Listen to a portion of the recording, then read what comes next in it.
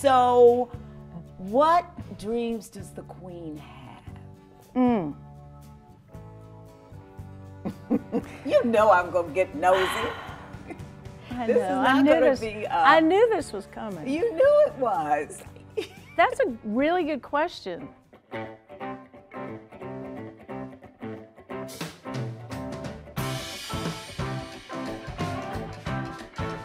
I, I, I dream of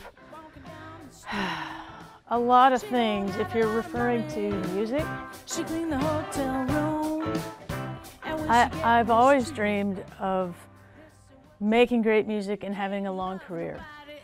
until you love yourself. You can't love nobody else. Sing it to me.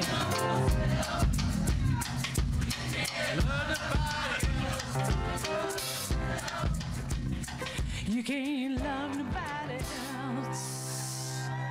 And on top of that, everything on top of the having a musical career that, you know, I can continue to be a part of for the rest of my life, that's everything. Now, the icing would be, you know, Georgia Music Hall of Fame, um, getting my scholarship program back up and running.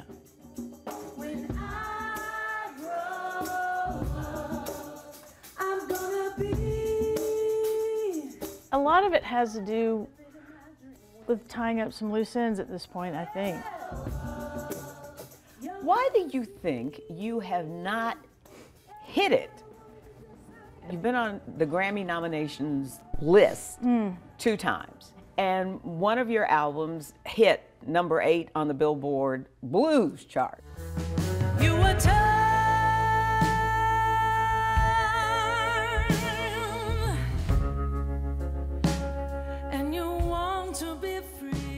Why do you think you haven't had that national recognition where you're not just a household name in the Southeast, you're a household name everywhere?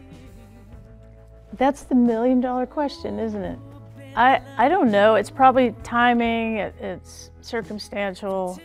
And I think early on in my career, when I was signed and people were really trying to sell my record and push me over the top, I was very resistant. And I think I was afraid. And I, I had a difficult time trusting people for a long time really until I don't know the past decade or so. So, well, I'm just uh, I'm a naturally suspicious person, and that you get in into the music industry, and and gosh, you know, there's a lot to consider. So.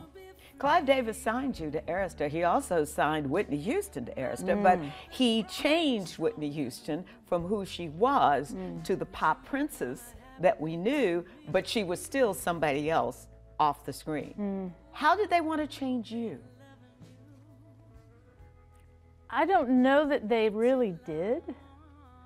Um, I had a lot of creative freedom in that agreement, and maybe too much.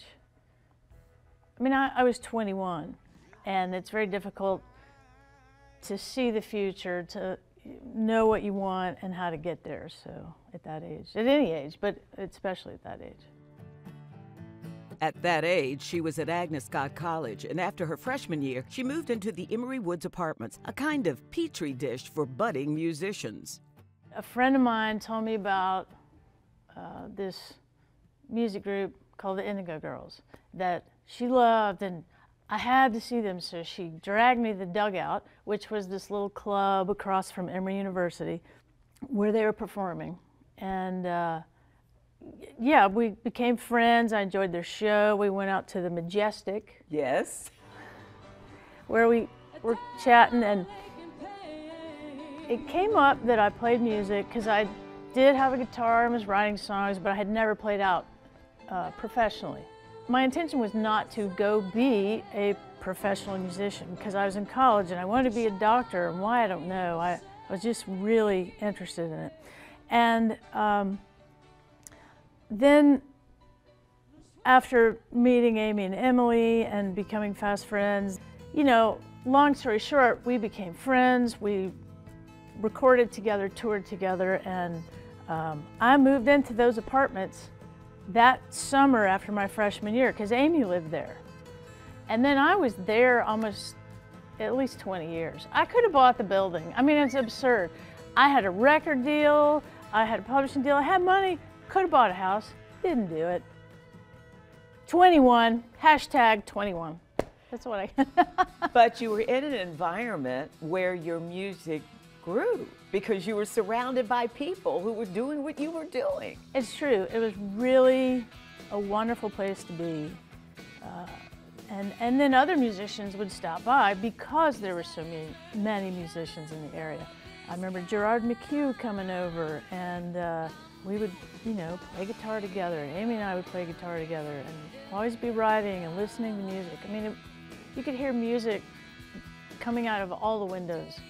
I loved it there. And it was really easy walk, go one block up the hill to Wuxtry Records, a Rainbow Grocery, and uh, well, the Blockbuster used to be there. so, you know. And Amy's on your new record too. Amy's on my new record. Thank y'all very much. I have these uh, friends that I came up with here in Atlanta in the industry, and we tend to sing on each other's records and collaborate. It's just a wonderful thing. I love the music community here.